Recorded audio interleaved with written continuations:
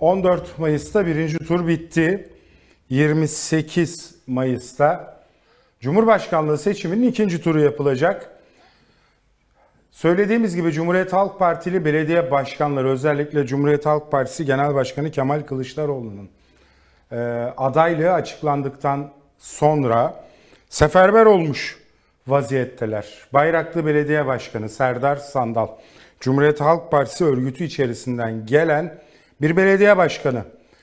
Adaylık açıklandıktan, resmileştikten, kesinleştikten sonra Kemal Bey'in adaylığı sahada, Bayraklı'da adım atmadık, yer bırakmadı Bayraklı Belediye Başkanı. Gerek milletvekili adaylarıyla, gerekse ekibiyle, gerekse tek başına. Ee, Serdar Sandal Bayraklı'yı karış karış dolaşıyor. Sokak sokak dolaşıyor.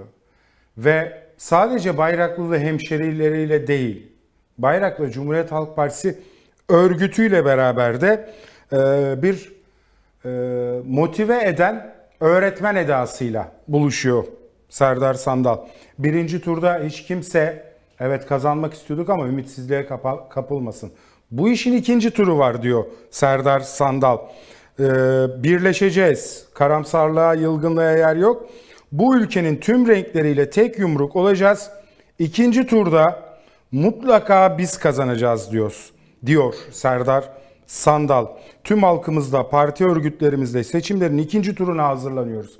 Hiç yılgınlığa gerek yok. İnanıyoruz biz bu ülkenin tüm renkleriyle tek yumruk olacağız. Kazanacağız. Söz konusu vatan, Türk bayrağı, Atatürk olunca sonuna kadar mücadele etmekten geri durmayız dedi.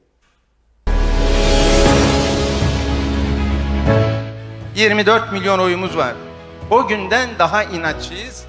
O günden 40 kat, 100 kat daha azimli ve daha inatçıyız. Çünkü söz konusu bizim çocuklarımız. Söz konusu bizim geleceğimiz. Söz konusu vatanımız. Söz konusu bayrağımız. Söz konusu cumhuriyet değerleri. Hepimiz birleşeceğiz. Bir yumruk olacağız. O Çanakkale harcına hep beraber sahip çıkacağız. Ayağa kalkın ayağa. Ölü toprağını atın üstünüzden. Vatanını seven sandığa gelsin. Sonuna kadar mücadele edeceğiz. Mutlaka ama mutlaka kazanacağız. Mutlaka.